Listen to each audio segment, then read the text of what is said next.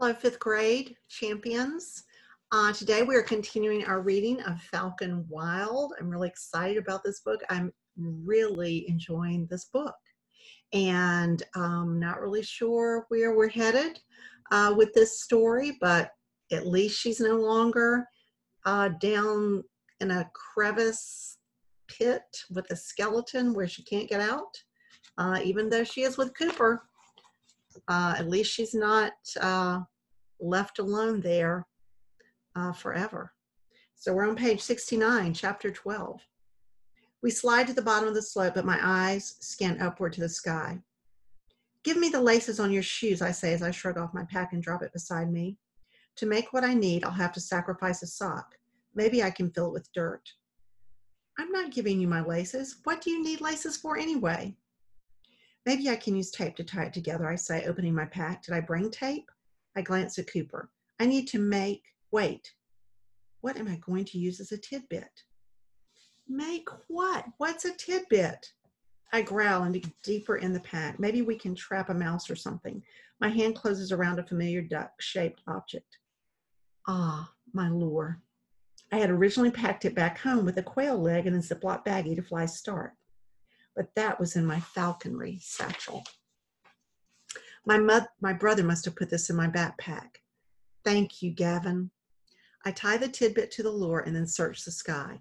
I need to get my bird before I do anything. I whistle and swing the lure as far as I can so Stark can see it. She was with me this morning, and I hope she hasn't given up on me yet. Suddenly, a shadow passes over me. Stark snatches the lure, and I almost cry out in relief.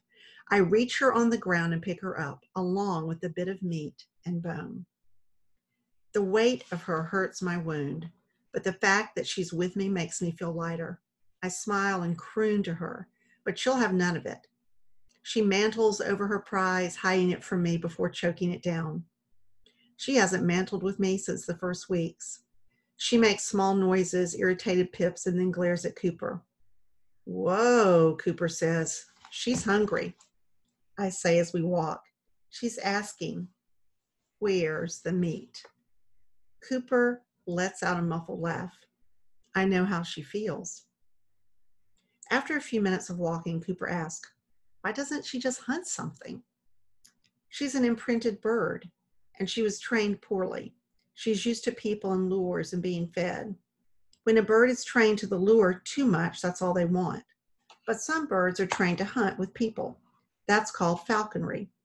Right now, I help with education demonstrations at our center. But as an apprentice falconer next year, I'll learn the magic of hunting with a wild animal when the bird accepts you as a partner.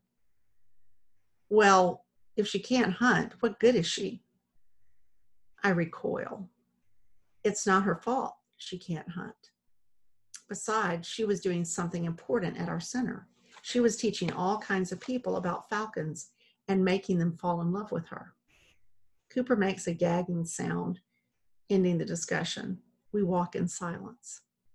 After a while, I realize how thirsty I still am. I lick my lips and look around.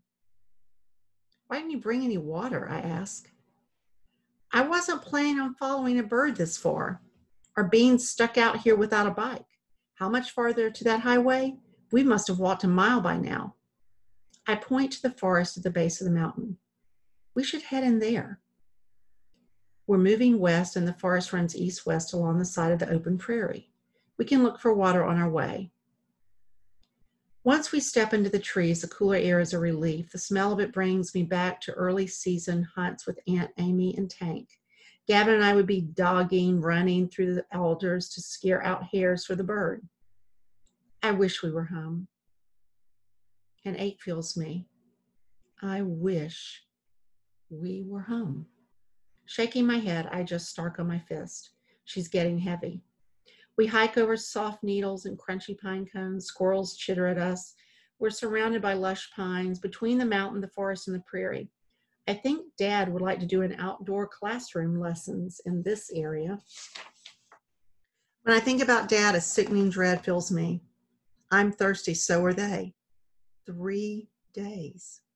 That's as long as anyone can live without water. I left them yesterday, so the clock started then. Gavin would have finished the water they have by now. I need to find that highway. Where is it? My throat burns. I lick my lips again. Where would we find water, you think? Cooper asked. Dig into my pack, I say as I turn back to him. I've got some gummies. I stand still as Cooper rummages through my pack. I'm not sure why it feels so personal with him in my pack while it's on my back, but I didn't want to move Stark from my fist. I'm afraid she'll leave. Cooper pulls out the Ziploc bag, but doesn't give it to me when I hold out my hand for it. He empties it into his own hand. I have time to see there are only five left in the bag before he grabs them and tosses them into his mouth.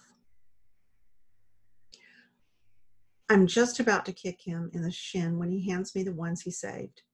Three gummies tumble into my palm. We need a creek or something, Cooper says. I nod. I suck my gummies slowly as we continue. The sugar rush helps keep my feet moving, but too soon my steps are sluggish.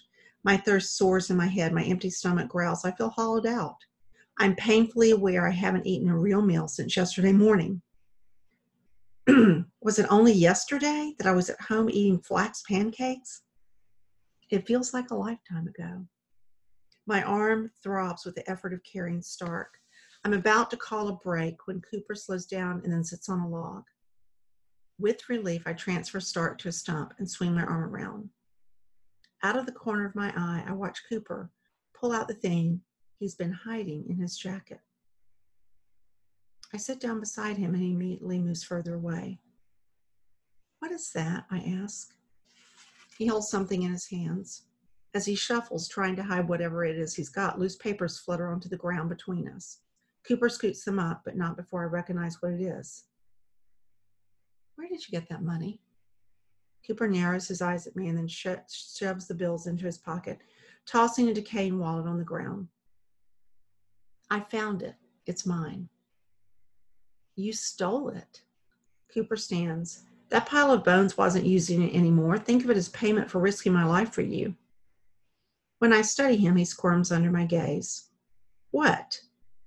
The dangerously low way Cooper says this sends a cold prickle across my neck. I wonder how safe I really am with him. Maybe I'd be better off by myself. I don't care about your money, all right? I just need to get help for my family. We should keep going.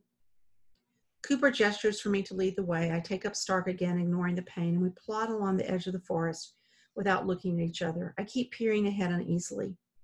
There's still no sign of a highway or road or even a trail. We should have been there by now. As we walk, I can't handle the silence. How much money is that? I ask. I knew it. Money is all anyone cares about, including you.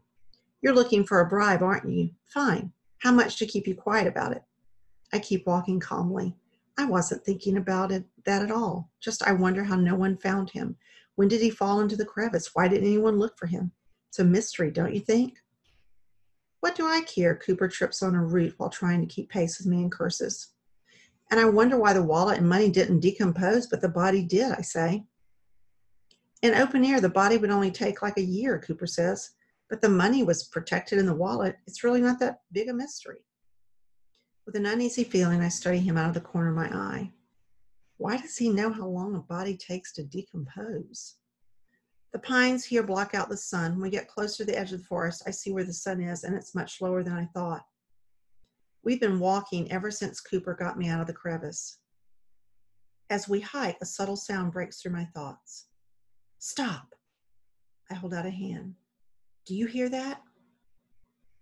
We look at each other, strained to listen over the wind through the trees. Water!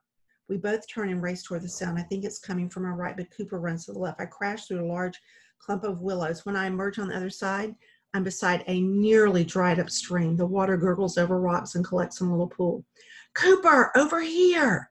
I hope Stark will have a bath, but she ignores the water after hopping off my fist.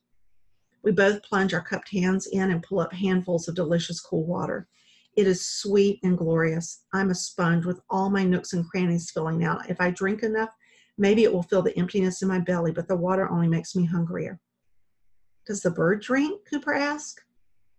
They get water from meat, but they usually love to bathe if they're if they feel like they're in a safe environment. I sit back and wipe my mouth. Water soaks the top of my hoodie and the bottoms of my sleeves. The filthy bandage on my arm is soaked too and is sticking to my skin, but I'm afraid to mess with it. I don't want to look at it just now. We sit for a moment, absorbing the water. My mouth finally feels normal. Reaching into my waistband at the small of my back, I pull out the empty water bottle and fill it. I wish we had another bottle to carry the water in. I don't know when we're going to find more. Then I remember the Ziploc bag the gummies were in. I pull it out and dip the bag into the water. When I zip it closed, it's like a square water balloon. I carefully hold it up to inspect for any holes, no leaks. This will work until we get to I'm interrupted by a scream behind me. I whirl around in time to see Cooper do a little dance. His knees come up in a rapid succession while he looks down in horror. What? Snake. Yeah, it's it's just a snake snuck up on me. Cooper sniffs and flicks his hair out of his eyes. Once he has his cool again, he puts on an expression of indifference like a cloak. He picks up a stick and spreads the grasses with it, peering at the snake. We can eat that, he says. Yikes! Watch it. That's a prairie rattlesnake, I say. It's late in the season for them to be out. So we can't eat it? They're venomous, not poisonous. We can eat it as long as we don't let it bite us. Cooper picks up a rock and hurls it at the snake. It coils up, rattles, and slithers into a hole between some rocks. The speed it can move makes me want to lift both feet at the same time. I watch from a distance. What's wrong? Cooper asked. You afraid of snakes? No, it's not that. It's just, well, yeah, I may be afraid of snakes. That sucks, Cooper says, peering into the place the snake disappeared. Feels like forever since I ate anything. With the water packed in my bag, I notice how much heavier it is and how much weaker I feel. We need to find something to eat, but even more than that, we need to find the highway. So we're going to stop there. Chapter 13, we'll start that on Monday, page 77. Wow, they're on an adventure. Thanks so much, fifth grade students. Have a wonderful weekend. See you Monday. Take care of yourselves.